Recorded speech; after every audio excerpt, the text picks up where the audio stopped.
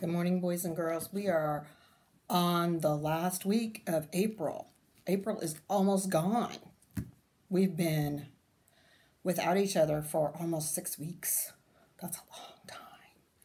A lot of sleeps. Um, today, we're going to talk about some zoo animals. Can you guys name a zoo animal? Yeah, we got zebras, lions. Yeah, what else? Elephants. Okay. What else? Dogs. No, you don't usually see dogs in a zoo. You usually have a dog dogs at home, but probably not in a zoo. What else? Other zoo animals can you name? How about tigers? Yeah. Uh, what's the thing with the long neck? Giraffe. Good job. What about, let's see, what about really long horns? Mm, not deer. I don't know if you've seen these before. Antelope. Antelope. Yeah. What's what's some of the areas that you can go in? Let's see. We have a snake area. Yeah. A petting zoo. What animals do petting zoos have in them? Like farm animals. Yeah. Like cows pigs, lambs, goats, chickens, maybe? Maybe a cow? What do you think? Yeah, that's what I think. Okay, let's see. What other areas? Oh, the reptile area, right? Where we have snakes and frogs, maybe turtles. And usually there's some kind of aquatic area with water, right? Um, let's see. If we have an aquatic area with water, that's going to be what? Fish? Yeah. Maybe dolphins? Whales? Maybe. For an aquarium, probably whales. Maybe a sea turtle. So all kinds of animals that you can see at the zoo. Lots and lots of different things. Our book for today is Never Ever Shout in a Zoo.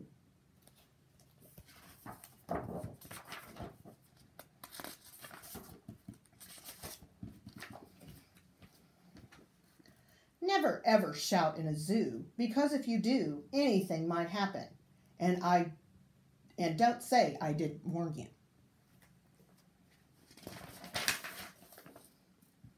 If you shout in a zoo, you might scare a bear, a giant bear, a giant grouchy bear, a giant grouchy grizzly bear that weighs 2,023 pounds.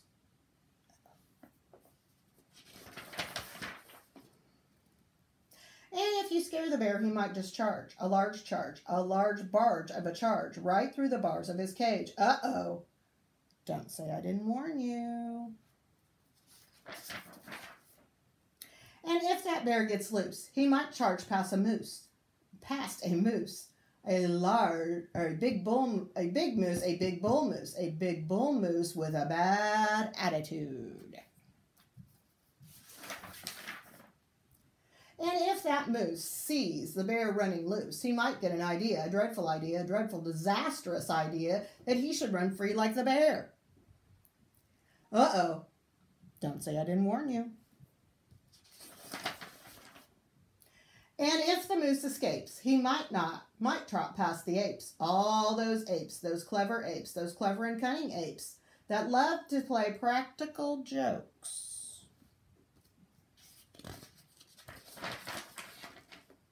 And if those apes should happen to spy the moose and the bear as they clatter on by, they might come up with a plan, a malicious plan, a malicious, mischievous plan to break out like the moose and the bear and set the animals loose everywhere.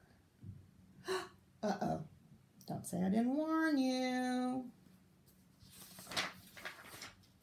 And if those apes could do as they please, they'd probably steal the zookeeper's keys. They'd let out the hippos. They'd let out, unleash the lions. They'd set free the tigers and kangaroos, the snakes, the flamingos, the crocodiles, and every single beast in the zoo.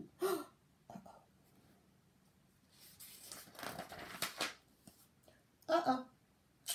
Don't say I didn't warn you. All those creatures would scatter about, all because of a shout, one shout, one innocent little shout, one innocent little shout that started the whole mess. And all those animals running wild might lock up each man, woman, and child at the zoo, including you.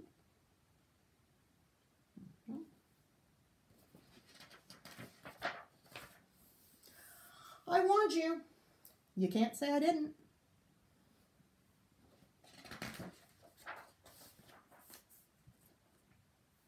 And there you would be in a pen. Then, what would you do to get out? You'd probably shout. But, haven't I warned you? Never, ever shout in a zoo. I think right now she's visiting a museum. It says new exhibit, dinosaur frozen in ice from the Arctic. Uh-oh. There might be a problem in museums too.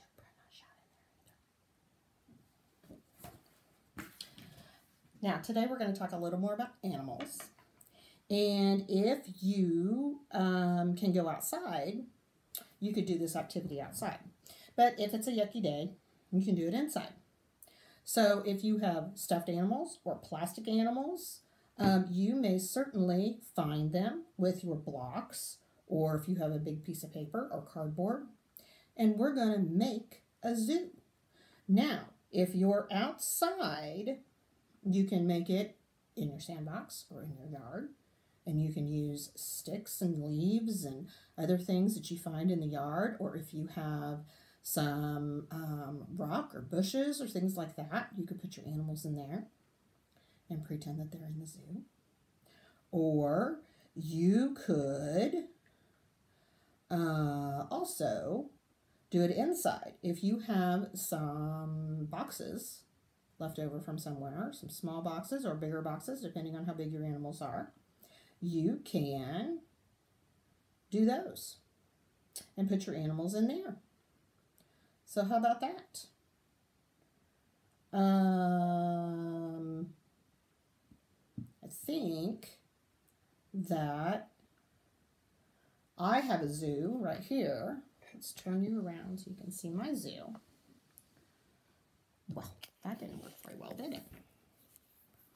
Let's try this one. Okay. Now you can see my zoo. My zoo I just did on a poster board. And we have our barn animals over here. Remember we talked about our, our petting zoo. Whoops, there they are. Our chicken and our lamb are ready to be petted. And over here is our lion. And there's a girl and a boy lion. Yeah. Then we have a tiger over here. In the middle is our seal. I don't know if I can make all these animal noises. Maybe you guys can. Here's our zebra. And our bird in the trees. There's lots of birds. I forgot about the aviary at the zoo. There's an aviary at the zoo. And our other part of the petting zoo, which would be our cows, horses, pigs, that kind of thing. Yeah. And there's lots of other things at the zoo that you can pretend that you are at the zoo. So I encourage you to make your own zoo. I had fun making mine. And just use anything that you have around the house. If you have stuffed animals, those will work too. It doesn't matter what kind of animal you use. Or you can make your own animals. If you don't have animals, mm, I had to borrow some from church because I how about that? All right. Do you guys like to do a song? Okay. Now, some of you like going on a bear hunt and some of you don't. So we're going to try going on a bear hunt. We're going on a bear hunt. Are you afraid? I'm not afraid. Okay, let's go on this adventure together. So everybody, we're going on a bear hunt.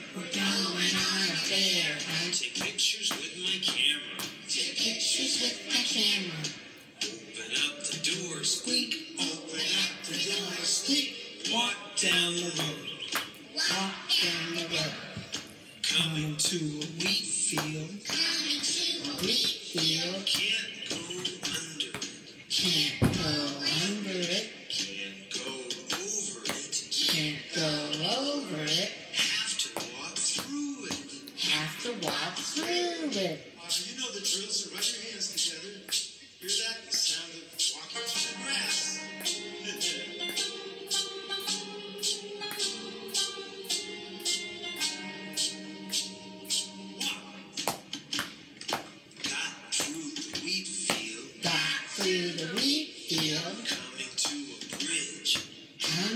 uma brecha.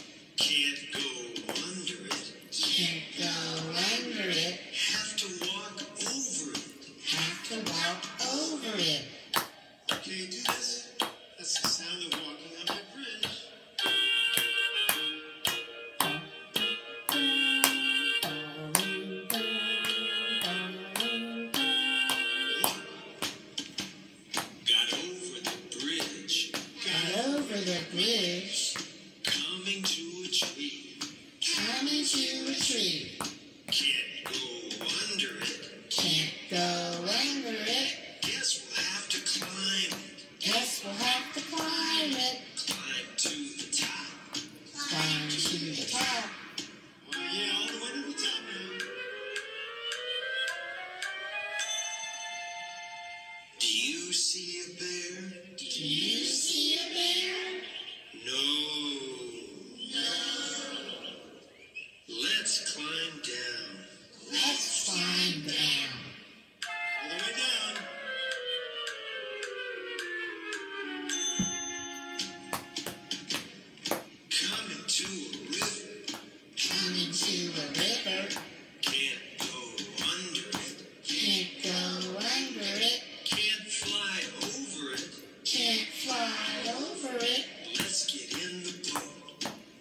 in the boat.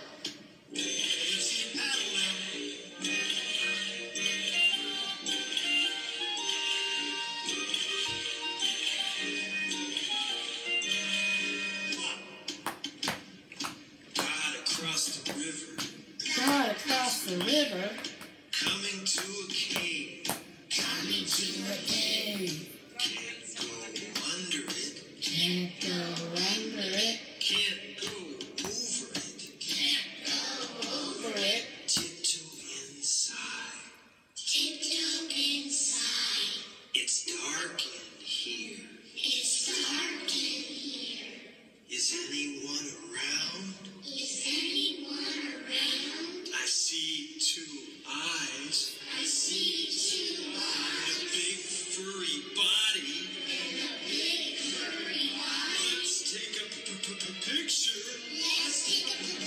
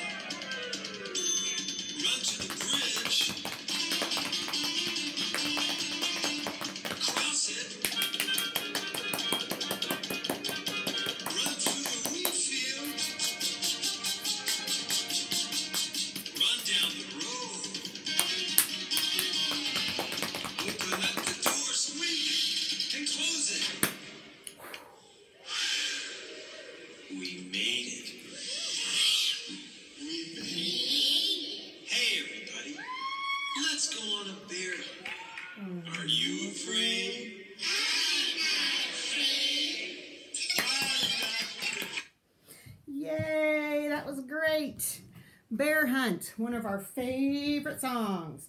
Okay. Also, if you're feeling creative, you could draw a picture of an animal. There are plenty of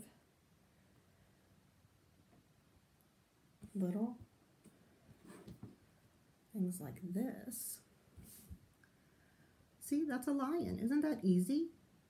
That doesn't take long. You could draw a lion. Or, whoops, that's not the way. I didn't go that way. Or a giraffe. See, it's just some circles and some legs. They're not really hard. So you could draw a picture of an animal and send it to your teacher. She would love to see that. So if you would draw a picture of an animal, take it, have mom and dad take a picture of it and send it to your teacher, that would be fabulous. I'm sure that would make her day. So bye for now. Mwah.